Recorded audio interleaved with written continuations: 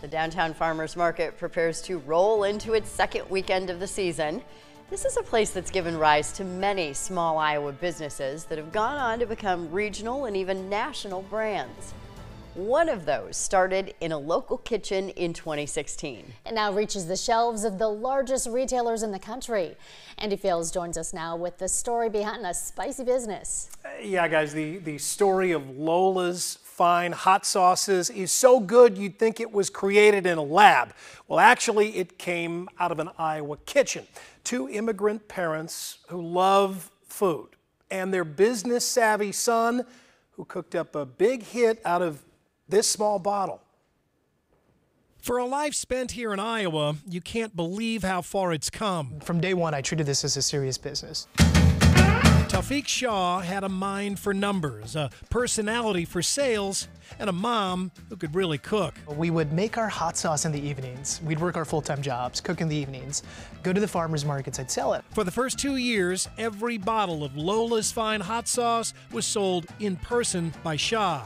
Then one day, the stores came calling. Bring the sauce, they said, and your patience. And I would stay and I'd work with the retailer. I'd demo. I've demoed almost every single Hy-Vee, every single Fareway personally myself, just about. And it's, uh, it's really a grind. Six years later, Lola's, named after his Filipino mom and flavored with a bit of his Pakistani dad, is a nationwide hit still made small batch. The way that we made it in my mom's kitchen is the same way that we make it today. Nothing has changed. Well, his mom's kitchen didn't have an automated bottling machine, but you get it. Any new item that comes out, my mom is the one that's created it. Lola's line is now available just about everywhere, from Walmart to Casey's to that food shopper's paradise, Lowe's. Shah's streak is as hot as his sauce, and I can attest that's a strong indictment. Oh! Yep, there you go. It kicks. Oh. It kicks.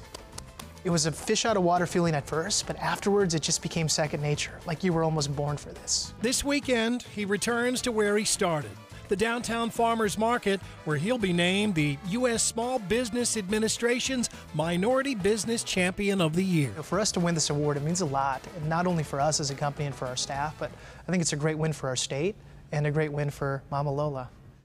Yeah, so Taufiq Shah will get that award on Saturday morning at 7 a.m. and then he'll ring the opening bell. And then he'll go back to selling Lola's fine hot sauces at the farmer's market and nationwide.